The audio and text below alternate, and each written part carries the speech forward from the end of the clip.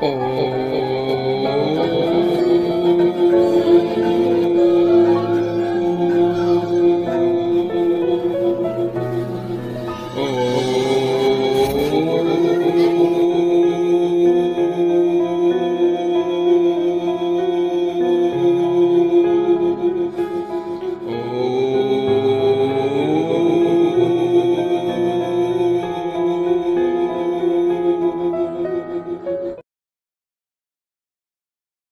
जय साई राम, नमस्कार। मैं ब्रिज मंसूरी आज आपको बताने वाला हूँ सात जुलाई 2023 सावन के महीने का उपाय। देखिए, आज का उपाय कीजिए। प्रतिदिन का उपाय बता रहा हूँ, चार तारीख से शुरू हुआ हूँ।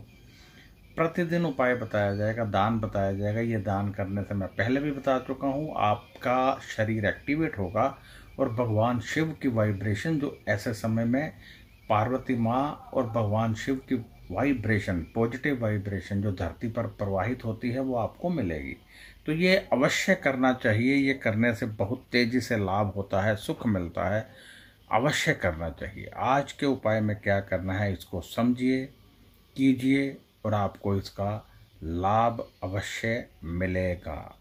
आज क्या कीजिए कि आप भगवान शिव के पास एक किलो पिसा हुआ आटा रख दें भगवान शिव की मूर्ति के पास या उनकी चित्र के पास या शिवलिंग के पास अपने निवास पर एक किलो आटा पिसा हुआ रख दें और अगले दिन, यानी आठ तारीख को वह दान कर दें किसी गरीब को।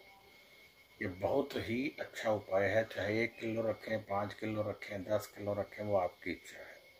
परंतु कम से कम एक किलो अवश्य रखें। तेज़ी से लाभ के लिए, तेज़ी से। समझ लीजिए, जितना आटा, उतना धन। जितना वज़न, आटे का, उतने वज़न का धन आपको प्राप्त होने वाला है। तो ये कीजिए, फिर देखिए, दुआएँ देंगे आप मुझे।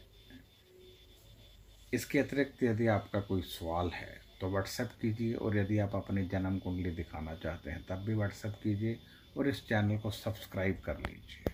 नमस्कार।